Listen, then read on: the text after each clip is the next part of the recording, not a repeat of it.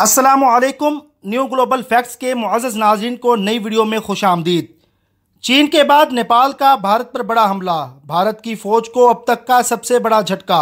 नेपाल ने भारत के सौ फौजी ठिकाने लगाकर मोदी सरकार और भारतीय फ़ौज के पाँव तले से ज़मीन निकाल कर रख दी। भारतीय मीडिया नेपाल से खौफजदा। भारतीय फ़ौज अपनी आवाम से हकायक छुपाने लगी। भारतीय फ़ौजियों की नेपाल के हाथों हलाकत ने भारतीय फ़ौज और मोदी सरकार की कमर तोड़कर रख दी। नेपाल ने भारत के अहम इलाकों पर कब्जा करके नरेंद्र मोदी के होश उड़ा दिए। नेपाली हुकूमत ने नया नक्शा जारी करके खत्े में तहलका मचा दिया। नाजरीन कराम वीडियो में मजीद आगे बढ़ने से कबल वीडियो पर नए आने वाले दोस्तों से गुजारिश है कि हमारा चैनल सब्सक्राइब कर लें और बेल आइकन को ज़रूर दबा दें। नाजरीन कराम मोदी सरकार पर एक के बाद एक आफत टूट रही है। चीन के बाद नेपाल ने भारतीय फौज की छतरोल करके नया नक्शा जारी कर दिया। और सौ से ज़्यादा भारतीय फौजियों को भी जहन्नम में पहुँचा दिया। मोदी सरकार और भारत की फ़ौज इस वक्त शदीद खौफ का शिकार है और भारत का मीडिया भी अपनी आवाम से हकायक छुपा रहा है। नेपाल और भारत के दरमियान ज़मीनी तनाज़ा की वजह से कशीदगी उरूज पर है और दोनों ममालक की फ़ौजें आमने सामने हैं। इसीलिए भारत की फ़ौज का नेपाल की हदूद में दाखिल होने पर दोनों ममालक की फ़ौजों के दरमियान झड़प हुई, जिसके जवाब में नेपाल ने सौ भारतीय फ़ौजी जहन्नम वासल कर दिए। जिस पर भारत की अपोजिशन भी मोदी सरकार के खिलाफ फट पड़ी। भारतीय अवाम अब आलमी वबा से जायद मोदी को खतरनाक करार दे रही है। क्योंकि जिस आग में मोदी ने भारत को धकेल दिया है, इसकी तपश अब इंतहा पसंद हिंदुओं को जलाकर राख कर देगी। पाकिस्तान, चीन, नेपाल, अमेरिका हर तरफ़ से मोदी को जिलत रसवाई का सामना करना पड़ रहा है। गुज्त साल अभिनंदन के वाक़े पर दुनिया में भारत का मुँह काला हुआ। फिर चीन ने भारत के दर्जनों फौजी ताबूत में भिजवाकर इसका गरूर खाक में मिलाया। और अब नेपाल भी भारत के मुतनाज़ इलाके पर कब्जा कर चुका है, जिसके बाद मोदी सरकार के पास सर छुपाने को भी जगह ना रही। चीन की तरफ़ से दिए गए जख्मों पर नेपाल का ये वार भारत की आने वाली नस्लें भी याद रखेंगी। नेपाल ने जो नया नक्शा दुनिया के सामने रखा है, इसे देखें तो लगता है कि आहिस्ता आहिस्ता पूरा भारत ख़त्म हो जाएगा। सबसे बड़ी जमहूरियत कैसे एक इंतहा पसंद जमात के हाथों ख़त्म हो रही है? ये बात अब पूरी दुनिया के सामने अया हो चुकी है, लेकिन नरेंद्र मोदी फिर भी अपनी मकारी से बाज ना आया। अपनी कौम को झूठी कहानियाँ सुनाकर चीन को धमकियाँ दे रहा है। मगर चीन, जिसने ना सिर्फ़ भारतीय फौज को शिकस्त देकर इसका गरूर खाक में मिलाया, बल्कि चीन ने भारत के कैद होने वाले फौजियों को रिहा करके दुनिया के सामने भारत को नंगा कर दिया है। और अपनी शिकस्त का बोझ बांटने के लिए जब मोदी ने कुल जमाती कॉन्फ्रेंस बुलाई तो भारत की सबसे बड़ी अपोजिशन जमात कांग्रेस की सरबराह सोनिया गांधी ने मोदी को आईना दिखाकर इसके जख्मों पर मिर्चें डाल दी। नाजरीन कराम नेपाल ने भारत का तीन सौ बहत्तर मरबा किलोमीटर मुतनाज़ा इलाका अपने नक्शे में शामिल करते हुए बड़ा ऐलान कर दिया है। नेपाल की सदर बदिया देवी भंडारी ने गुज्त रोज़ नेपाल के तब्दील शुदा सरकारी नक्शे की तोसीक करते हुए मुतल आइनी तरमीम पर दस्तखत कर दिए हैं, जिसमें भारत के साथ तीन सौ बहत्तर मरबा किलोमीटर के मुतराज़ा सरहदी इलाके को भी नेपाल की हदूद में शामिल किया गया है। ये आइनी तरमीम गुज्त हफ़्ते नेपाली पार्लियामेंट के ऐवान जेरी और बाद अजा पीर के रोज़ ऐवान बाला ने मुकम्मल इतफाक़ राय से मंजूर की थी। ताहम इस आइनी तरमीम के हतमी तौर पर रूबा अमल होने के लिए नेपाली सदर की जानब से भी तोसीकी दस्तखत ज़रूरी थे और ये कार्रवाई भी अब मुकम्मल हो गई। नाजरन कराम भारत और नेपाल में हालिया सरहदी तनाज़ा इस वक्त शुरू हुआ, जब गुज्त माह भारत ने अपनी शमाली रियासत उत्तराखंड को तब्बत में चीन के जेर इंतज़ाम इलाके से मिलाने के लिए 80 किलोमीटर तवील सड़क का अफ्ताह किया, जिसका 19 किलोमीटर तवील हिस्सा भारत और नेपाल के दरमियान लिपोलीख के मुतनाज़ा सरहदी इलाके से गुजरता है। बज़ाहर, इस सड़क का मकसद तिब्बत में वाक़ मंसरोर झील तक पहुँचने का रास्ता मुख्तर करना है। जिसे बुद्ध मत और चीन मत के अलावा हिंदू धर्म में भी मुकदस हैसियत हासिल है। ताहम इस बारे में नेपाल का मौक़ है कि लिपोलीख का इलाका इसकी मलकियत है और इस बारे में ब्रिटिश ईस्ट इंडिया कंपनी से 1816 में किया गया हुआ माहिदा है। तारीख के रिकॉर्ड पर मौजूद है। तारीखी तौर पर भी नेपाल कभी सल्तनत बरतानिया का हिस्सा नहीं रहा। इसलिए हिंदुस्तान की तकसीम से मुतलक बरतानवी हुकूमत के फैसले और माहदे भी इस पर लागू नहीं होते। लिहाजा भारत यहाँ पर सड़कों समेत किसी किस्म का कोई इंफ्रास्ट्रक्चर तामीर करने का इस्तेकाक नहीं रखता। नाजिन कराम अगर देखा जाए तो नेपाल और भारत दुनिया के करीब तीन पड़ोसी होने की वजह से शोहरत रखते हैं, जबकि ये दोनों एशिया के इन चंद ममालक में से एक हैं जिनकी मुश्तरक सरहदों पर कोई रुकावट या दीवार नहीं। और ये बात भी काबिल ज़िक्र है कि नेपाल के हज़ारों गोरखा फ़ौजी भारतीय फ़ौज में खदमात अंजाम देते हैं, जबकि भारतीय आर्मी चीफ को नेपाल की फ़ौज का एजाज़ी जर्नल भी बनाया जाता है।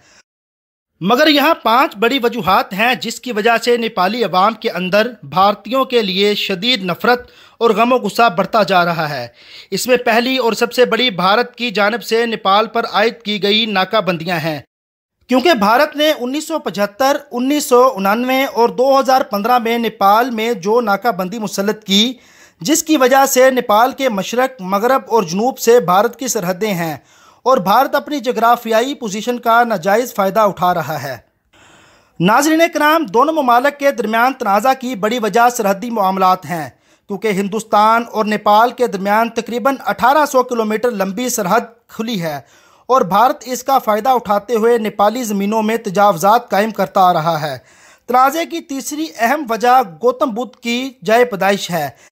यह आलमी सतह पर जाना जाता है कि लॉर्ड बुद्ध की पैदाइश लंबीनी में हुई थी, जो ना सिर्फ़ इसकी सकाफती और रूहानी अहमियत की वजह से, बल्कि इसकी सियाहत की अहमियत की वजह से नेपाल का एक अहम हिस्सा है। ताहम नरेंद्र मोदी ने अकवा मुतहदा की जनरल असम्बली के चौहत्तरवें इजलास में अपने खताब के दौरान ये दावा किया कि हिंदुस्तान ने दुनिया को बुद्ध मत का, अमन का पैगाम दिया। इसके अलावा कुछ भारतीय फ़िल्मों और किताबों में यह दावा किया गया कि बुद्ध की पैदाइश भारत में हुई थी, जिस पर नेपाल में ज़बरदस्त अवामी मुजाहरे हुए थे। नेपाल और भारत के दरमियान तनाज़ा की चौथी अहम वजह भारत का नाजायज़ मगरूर रवैया है। चूँकि नेपाल एक आज़ाद और ख़ुद मुख्तार रियासत है, लेकिन भारतीय सियासतदान, सहाफ़ी व तजियाकार नेपाल को भारत का छोटा भाई कहकर पुकारते हैं, जिसकी वजह से नेपाली अवाम की अक्सरियत भारत के ख़िलाफ़ है। और वो इस बात का बरमला इजहार करते हैं कि कोई भी मुल्क साइज़ या आबादी में बड़ा या छोटा हो सकता है, लेकिन कौमियत छोटी या बड़ी नहीं हो सकती। तमाम ममालक को यकसा खुद मुख्तारी का हक हासिल है। तनाज़ा की पाँचवीं और अहम वजह भारत और नेपाल के सफारती ताल्लुक हैं, जिनमें मुतद ऐसे माहदे शामिल हैं, जिसका फ़ायदा नेपाल से ज़्यादा भारत को है। नेपाली अवाम भारत के साथ गंडकी, कोशी और महाकाली आबी माहों को नफ़रत की निगाह से देखते हैं, क्योंकि भारत इन माहों की वजह से नेपाल के आबी वसाइल पर कब्ज़ा किए हुए है। नाजरीन कराम भारतीय फौजियों की हलाकतों के बाद मोदी सरकार को भारत में भी मुसलसल पसपाई और जिल्लत का सामना करना पड़ रहा है। मगर मोदी इसके बावजूद झूठ बोलने से बाज नहीं आ रहा और इसने झूठ बोलने का रिकॉर्ड तोड़ दिया है। चीनी हमले के बाद अपोजिशन जमातों के एहतजाज के बाद मोदी ने जुमा को कुल जमाती कॉन्फ्रेंस बुलाई, जिसमें भारतीय अपोजिशन पार्टी कांग्रेस की सदर सोनिया गांधी नेशनलिस्ट कांग्रेस पार्टी के सदर शरद पवार, तेलंगाना राष्ट्रीय समिति के कायद के चंद्रशेखर राव, जनता दिल चीफ नितेश कुमार, डीएम के leader M K अफ्तालन YSR Congress party YS Jagan Mohan Reddy और शिवसेना सदर उद्धव ठाकरे के अलावा दीगर ने शिरकत की थी। कॉन्फ्रेंस में लद्दाख मुद्दे पर बातचीत की गई। कुल जमाती कॉन्फ्रेंस में नरेंद्र मोदी इंतहाई ढटाई से झूठ बोलता रहा।